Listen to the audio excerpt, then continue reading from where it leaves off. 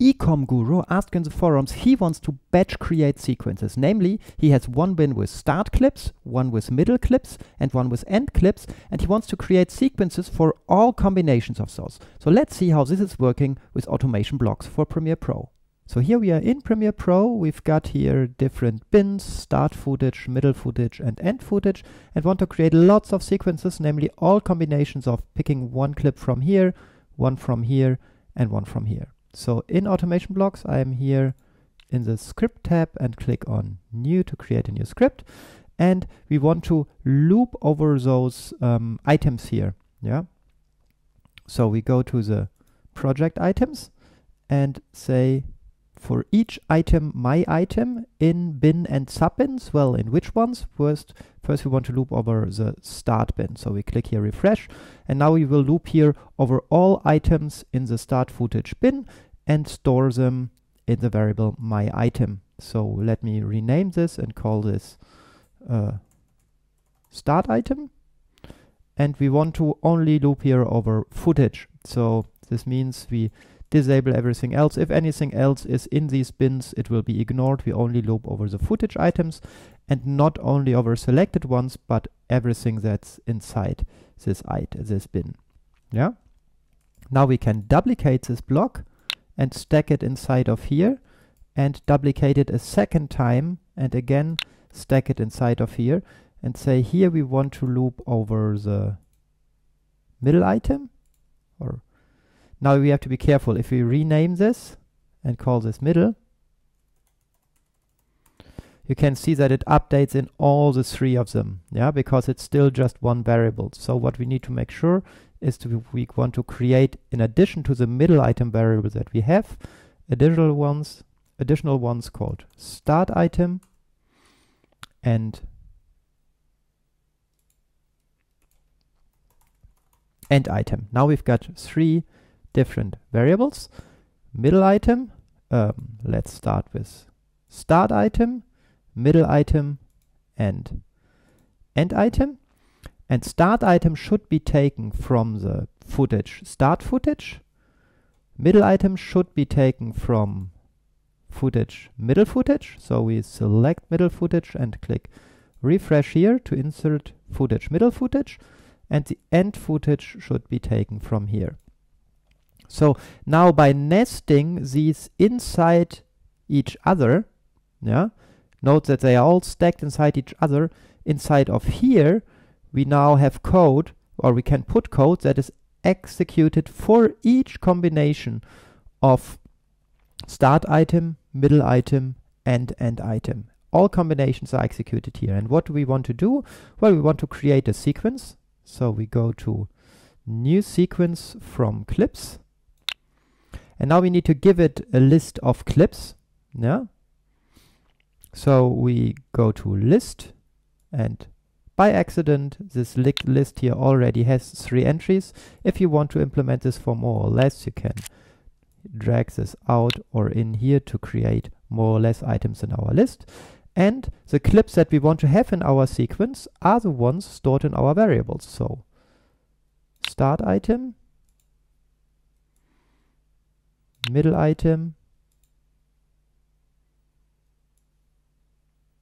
and item. And now to keep it simple, we keep the sequence name unchanged. It should just be my new sequence. And let's run this tool and see what's happening.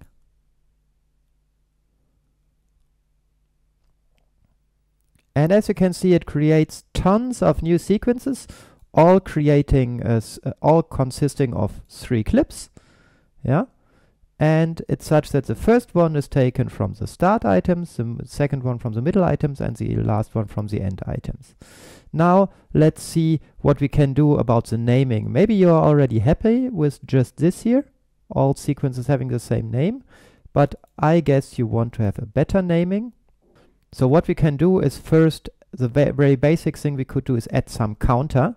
Yeah, so we create a variable counter and we set the counter at the beginning to 0 or 1 no depending on what you want to start with let's say you want to start with sequence number 1 from your naming so we put this here to 1. And we use here sequence name. We create a text consisting of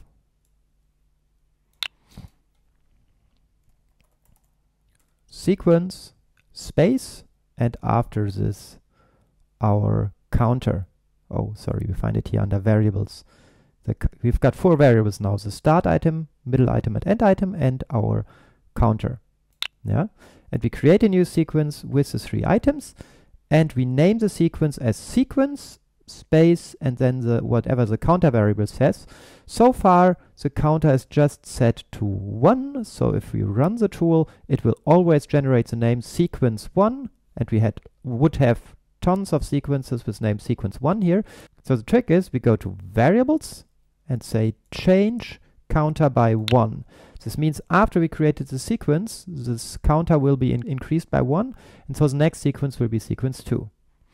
If we run this tool, now you can see we've got sequence 1, sequence 2, sequence 3, and so on, up to uh, sequence 32. Does this make sense? We've got four intros, four middle parts, and two outros. It's 4 times 4 is 16, times 2 is 32 combinations. Yeah, all combinations have been created. Great. Now let's finally show you how you would also include the naming of these files here um, or of these project items into the name. Yeah, you could continue using this create text, but for complex patterns, I prefer to use this replace in. Yeah, um, and it works as follows. Let's say we want to say our na sequence name should be sequence um, index or sequence and then should the counter follow. So we say dollar one to say please insert here whatever comes uh, in our dollar one variable that we place here. So we put here our counter. This says sequence and then comes the counter and then let's say comes another space and then comes dollar two and let's say we want to mention in the sequence name the name of the middle footage that has been used. Yeah. So the middle footage is called our, is, this is our middle item, and from this middle item we want to get its name. So we go here to project items and search for the attributes. We want to get an attribute of our, let's steal this here, duplicate and put it here. From this footage item, we want to get not the type, but we want to get its name. Yeah. And we want to insert it here as $2. So this would mean sequence 1, and then it would mention after that in the sequence name which of these four it has used. Let's check this.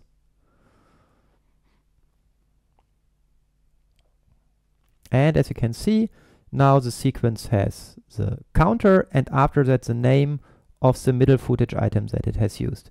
We can probably see this better if we rename our clips here to foo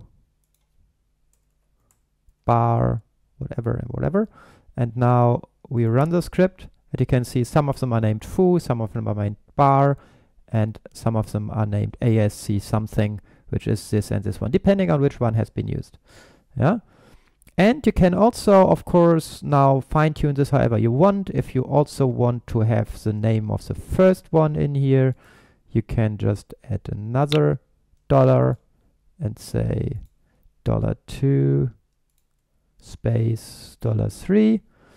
And then as third, we want to have the same but let's say first we want to have the name of the start item and then the name of the middle item. So you get the idea. Yeah.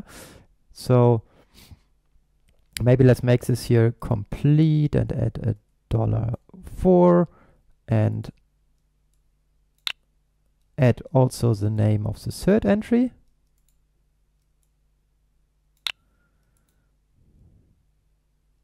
And item. Yeah. And maybe to get not huge names, we could do something like here, we call it A, B, C, D, and here we call it, let's lo use lowercase letters here and D and let's say here we use it one variant is the X variant and one is a Y variant. Now let's delete all our sequences again and run the tool.